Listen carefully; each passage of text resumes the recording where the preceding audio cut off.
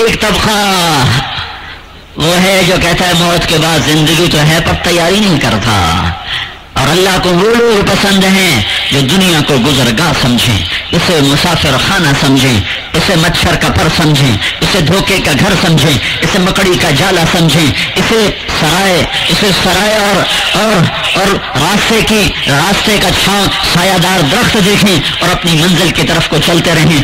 راہی کو راہ سے واسطہ نہیں ہوتا، سوائے اس کے کہ وہ منزل تک پہنچاتا ہے۔ راہوں میں ریت اڑے۔ یا آگے چل کے چمن اور گلستان مہکے وہ اپنی منزل کی طرف رواں دواں ہوتا ہے۔ ایک طرز زندگی یہ ہے کہ یہی سب کچھ ہے۔ یہ غلط ہے۔ یہ غلط ہے۔ یہ غلط ہے۔ قرآن پکار رہا ہے۔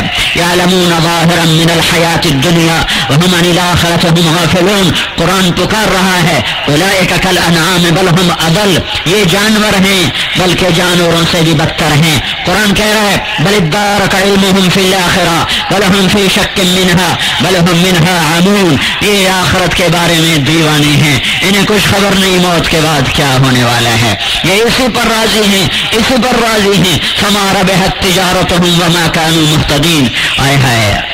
خوبصورت مثال ہے ایک تاجر کو نقصان ہوتا ہے، قابل برداشت ہوتا ہے۔ ایک تاجر کی رات ہی چلی جائے تو ناقابل برداشت ہوتا ہے۔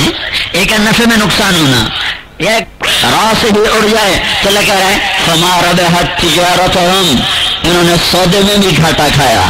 وما ہم بمهتدين. اور یہ إن کی راس بگڑ گئی إن کا أصل بھی گیا إن کا نفع بھی گیا إن کا أصل بھی گیا إن کا نفع بھی گیا من كان يريد الحياة الدنيا نوفي إليهم أعمالهم فيها وهم فيها لا يبخسون. أولئك الذين ليس لهم في الآخرة إلا النار. وحبط ما صنعوا فيها وباطل ما كانوا يعملون. جو مجھ سے دنیا کے طلب ہیں میں موت سے پہلے آؤ. آؤ لے جاؤ، لے لو، جتنا چاہتے لے لو، لیکن موت کے بعد جہنم کے سوا کچھ نہیں تمہارے لیے۔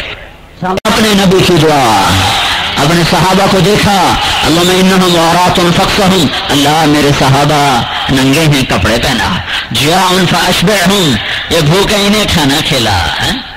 اپنے صحابہ، اپنی امت امت کے لیے دعا ہو رہی ہے، اللہ نے کپڑے پہنا، اللہ نے روٹی کھلا اللہ نے فاقے سے بچا۔ اور جب اپنے گھر کی باری آئی اور اپنی اولاد کے لیے دعا کی، تو یوں فرمایا اللہ رزق آل محمد قوتا۔ اے اللہ، آل محمد کا رزق تھوڑا کر دے۔ تھوڑا کر دے۔ یہ نہ سر سبز ہوں تاکہ بھائی یہ تیرے شوق میں زندگی گزار کے آ جائیں۔ آل محمد کا رزق تھوڑا کر دے۔ اپنے گھر کے لیے کوئی تنگی مانگتا ہے؟ اپنے گھر کے لیے کوئی پریشانی مانگتا ہے؟ ساری پریشانیوں کو اپنے گھر اکٹھا کر لیا ہے۔ سارے دکھ درد اپنے گھر لے لیے ہیں۔